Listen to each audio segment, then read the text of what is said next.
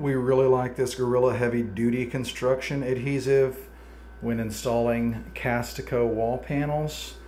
This stuff is really nice because it's got a removable tip and it's got this fast grab feature. So 30 second fast grab. So it holds the panel in place while we're trying to get our third hand set up. Works really well. Great stuff from Gorilla.